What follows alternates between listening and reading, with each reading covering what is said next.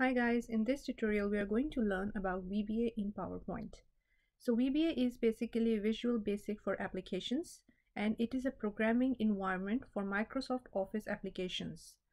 Whenever you install any Microsoft Office product on your desktop, by default it is in the installation of Office. Unless you deactivate it. PowerPoint VBA is used to automate PowerPoint like if you want to repeat the task again and again that one you can only do with the VBA like if we have a lot of slides and we have to hide some of the slides then these things can be done only with PowerPoint VBA the second thing is PowerPoint VBA also extend PowerPoint. Like if you want to complete a task and if you delete some of the templates from the layout so in order to get that back, VBA PowerPoint does this job. So how you open the VBA?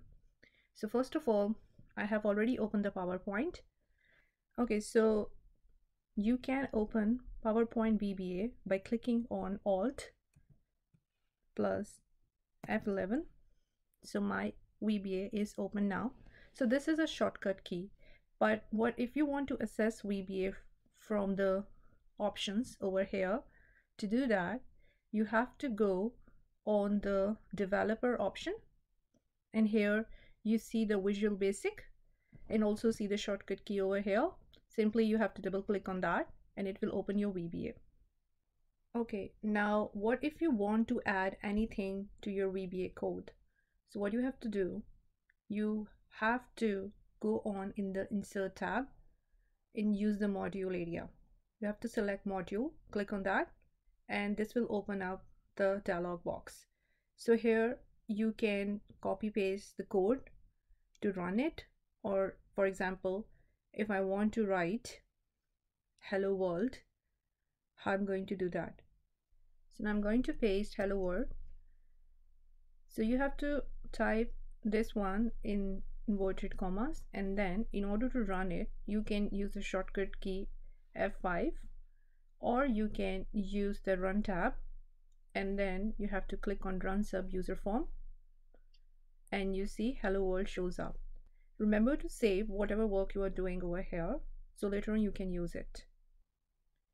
So now this hello world is known as a macro and we can use this one in our presentation. To go back to the PowerPoint, we have to click on Alt plus Tab. This will take us back to the PowerPoint. And from here, we can run the macro by pressing Alt plus F8. This dialog box opens. We have to write down our macro name, which was hello world. We will simply type hello world. And after typing hello world, we press. And then run. And you see our hello world is showing up over here.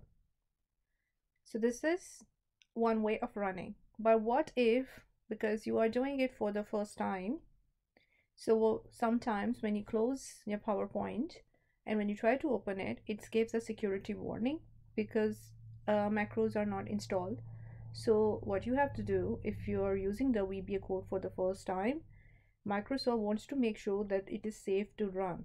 So as soon as you save, close or reopen the file, Microsoft doesn't know that it is your code which you want to play. So by default, it is disabled.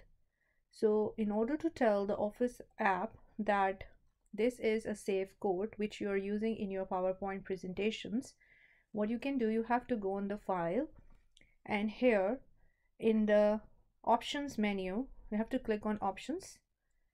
And once the options are open you have to go on the trust center. And then here you have to see the trust center settings. Click on that. So you see it has already done a disable all macros with notification because this is the setting which is already done if I want to run macros in my PowerPoint presentations, I have to enable all macros. And it gives me warning not recommended because it has a code. But if I'm using the same code by myself then I can enable it. But if I'm running someone else presentation I have to be careful in running it because it can have virus. So that's why normally it has done to disable all macros with notification so once if you enable all the macros and you click ok so whenever you open the same presentation suppose I save this presentation as hello world and whenever I open the same presentation I can run the macros because I have already saved it. I will close this one and open it again. Okay now I want to open the hello world so now my hello world file is open. So if I want to run the macros again I will simply press alt F8 and write down hello world and then run it. So my hello world is showing up. But what if I go back options and here I am going to make the settings as disable okay. And I'm going to save it. And I'm going to close it again and come back to see how it goes. Now open the hello world again. So now it gives me security warning.